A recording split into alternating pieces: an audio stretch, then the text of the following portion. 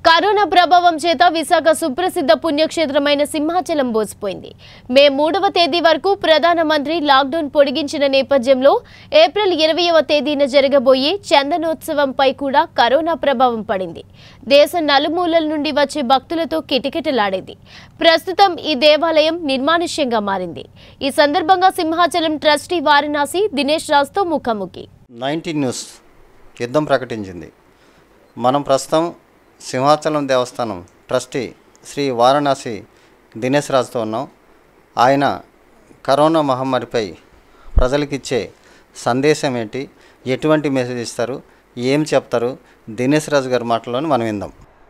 విశాఖ నగరంలో ఆందోళనకరంగా ఉన్నటువంటి కొన్ని సంఘటనలు జరిగాయి.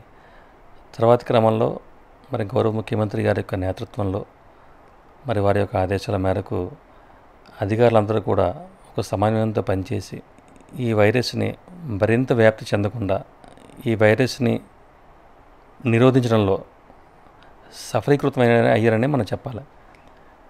ముఖ్యంగా వైద్య వైద్య సిబ్బంది డాక్టర్లు కానీ నర్సులు కానీ ఏఎన్ఎం స్టాఫ్ కానీ అలాగే పారిశుధ్య కార్మికులు పోలీసులు పోలీసు వ్యవస్థగా మొత్తం వారందరూ కూడా ఇరవై నాలుగు గంటలు అనునిత్యం ఈ ప్రజాసేవలో వారు తమ జీవితాలను కూడా పణంగా పెట్టి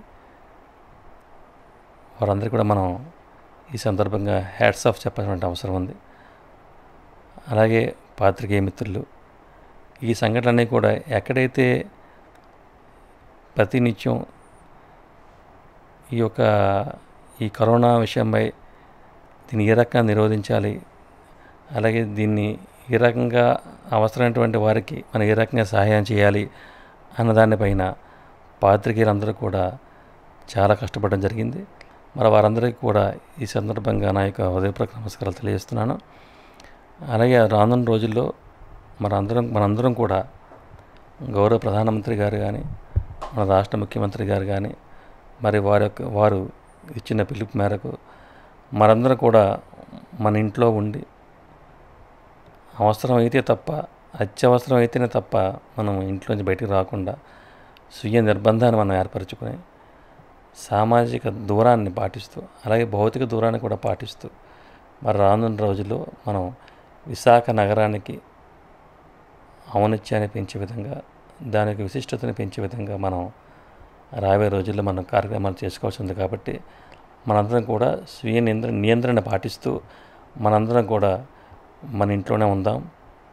స్టే హోమ్ స్టే సేఫ్ మే నేను అందరికీ కూడా విజ్ఞప్తి చేస్తున్నాను. దయచేసి రానున్న రోజుల్లో అందరం కూడా ఇంట్లోనే ఉండండి.